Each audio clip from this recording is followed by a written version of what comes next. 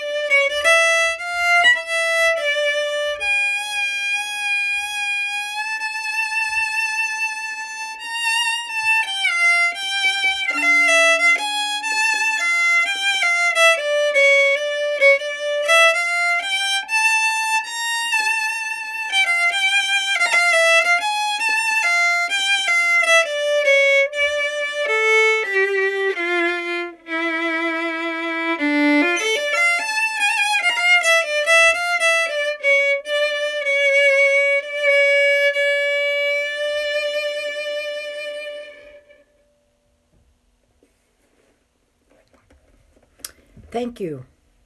That song for me is about bringing peace to everyone who hears it, and I hope you really enjoyed it. Thank you so much.